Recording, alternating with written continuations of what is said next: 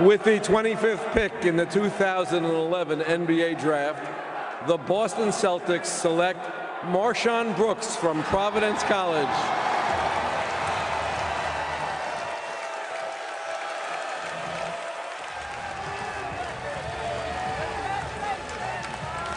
I don't know if he's the next Kobe Bryant, but hey, all Marshon Brooks has to do is get on I-95 in Providence and head up to Boston, Jay. The Nets took Purdue center JaJuan Johnson at number 27, but they immediately sent his rights along with a future second-round pick to Boston for the rights to the 25th pick in the draft, Providence guard Marshon Brooks. New Jersey took Maryland's Jordan Williams in the second round. The first round of the NBA draft had a New York flavor to it. Kemba Walker from the Bronx was taken ninth overall. He's headed to Charlotte. Jimmer Fredette was taken next by the Bucks, later traded to the Kings. Tobias Harris from Dix Hills and Kenneth Faried from Newark are also taken in the first round.